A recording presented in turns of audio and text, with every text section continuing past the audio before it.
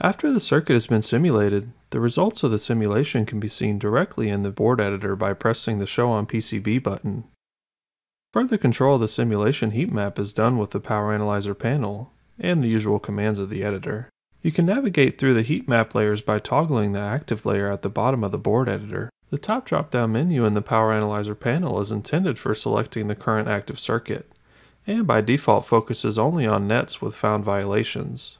Unchecking the Only Nets with Violations option will display all simulated circuits in this menu. If you have used net extensions, you can select an individual subnet and display its own heat map.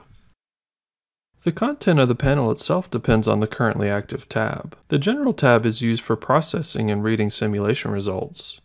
The Heat Map tab contains the heat map selection and the relevant settings for the selected heat map type. It is possible to choose which simulation results should be displayed using the switcher the current density, or the voltage drop. The associated settings below will update depending on the selected heat map and help you when processing the results. Regardless of the active heat map, the Power Analyzer gives you the option of displaying current direction arrows showing the current flow inside your power circuits. Selecting heat map for current density allows you to switch between linear and logarithmic scale, and also control of the scale range, focusing on critical areas of your PCB. A selection of voltage drop heat map gives you the ability to switch between numeric and percentage values, similarly control the range of the scale, and display regions that are at a certain threshold of a scale using the slider.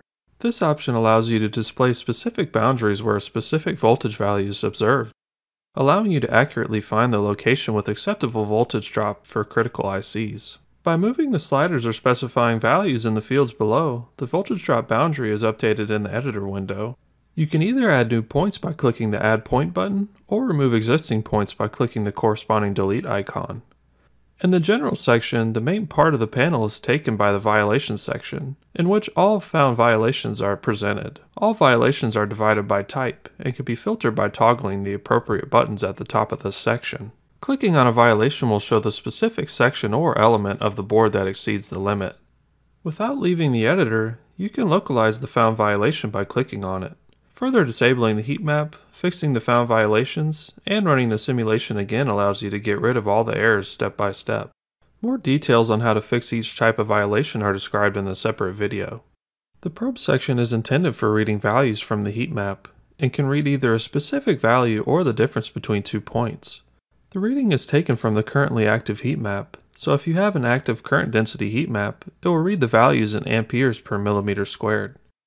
If the voltage drop heat map is active, it will read the values in volts or millivolts. To get a single value, press Add button. Click on the desired place on the board, and then press Escape button. To get the difference between two points, press the Add button and make two clicks at the desired locations.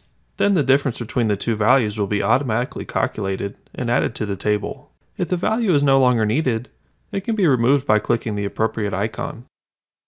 You can also take a measurement of the simulated via current values with the probe tool.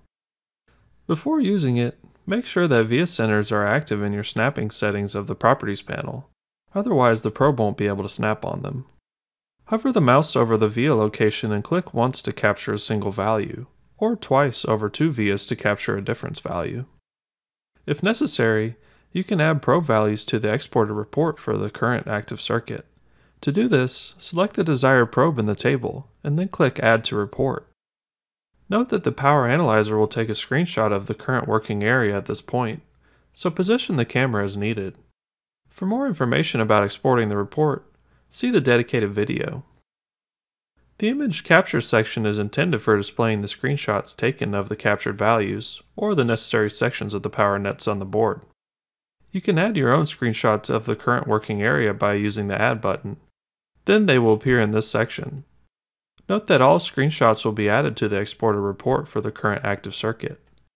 If any of the screenshots is no longer needed, you can delete them by clicking the appropriate button slash icon.